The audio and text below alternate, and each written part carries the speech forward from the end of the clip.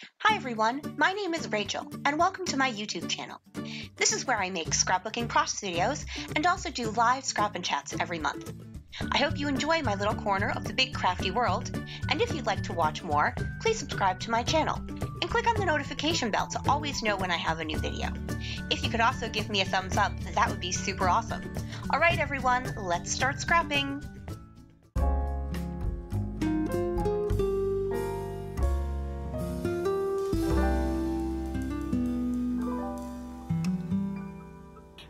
This is Rachel and I'm here with another episode of From Our Scrap Bin.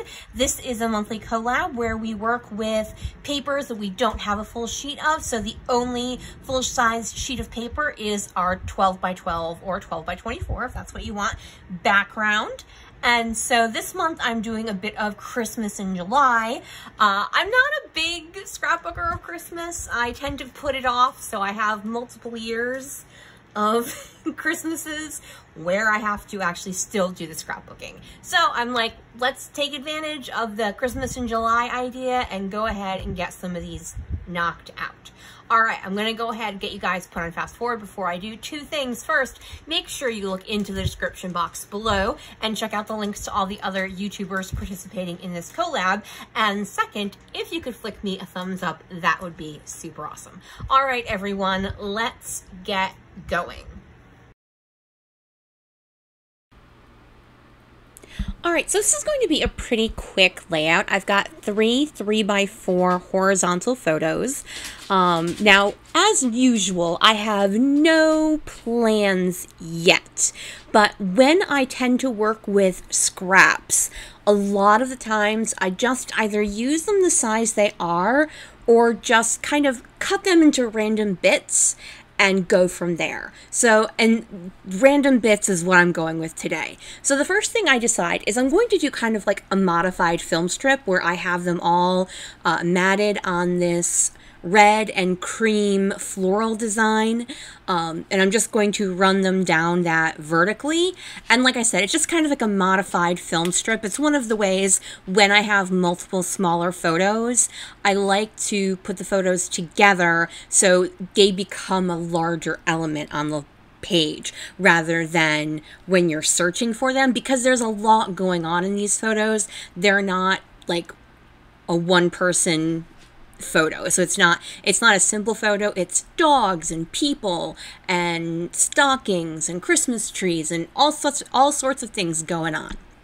Now, I'm trimming apart the sheet that has, oh gosh, I forgot to mention.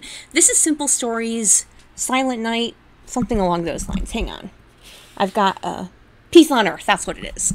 Uh, so what I'm cutting apart is the plaid edged journaling card, and then also that poinsettia uh, cut apart card as well. So I chunked up that green vine paper, and now I've got the green vine, and then I think the other side of that is the other side of that the the floral or is it the cream? I don't remember now. So I've got it like this right now, and I like what's going on over on the left-hand side. I like the green vine paper, I like the floral black, and I like where the photos are, and I like having the plaid piece be over on the left-hand side, and it kind of coordinates with having that plaid vertical strip over on the right-hand side. Now, I'm not as happy with what's going over on the right-hand side. I, I, I know there's too much there. I, I know I don't love what's going on. So I'm kind of just looking at it, trying to figure out what I don't like about it. But I can't necessarily like I don't know exactly what it is I don't like about it. So what I'm going to do is I'm going to start to glue down what's going over on my left hand side, but not and then I'll worry about what's going over on the right hand side. Now I could have cut this chunk out. What I'm doing is I'm fussy cutting, well, that points poinsettia right there. But to be honest, this video is quite short as it is. I didn't want to have to rush through what I'm trying to explain.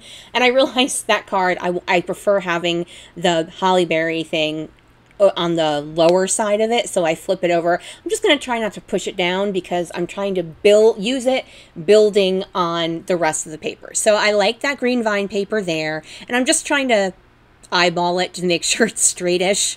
Okay, I was right. The, the black poinsettia paper is the other side of that green vine paper.